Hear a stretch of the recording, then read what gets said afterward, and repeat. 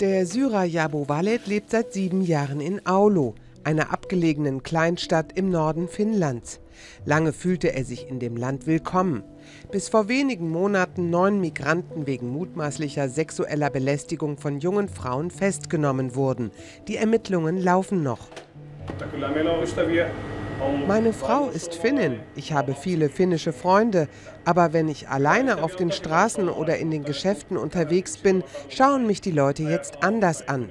Ich kann ganz klar sagen, dass es anders ist als früher. Der Vorfall verschafft der rechtspopulistischen Partei Die Finnen kurz vor den Parlamentswahlen Aufwind. Umfragen sehen sie am Sonntag als zweit- oder drittstärkste Kraft. Auch andere Parteien kündigen jetzt härtere Maßnahmen gegen kriminelle Migranten an, aus Angst, Wähler an die Rechtspopulisten zu verlieren. Wahlentscheidend sind aber eigentlich Themen wie Gesundheitsversorgung, Arbeitsplätze und Klimawandel. Einige Leute haben Angst davor, hier Windkraft zu haben, aber für mich ist es extrem wichtig, dass wir zur Erzeugung erneuerbarer Energien übergehen.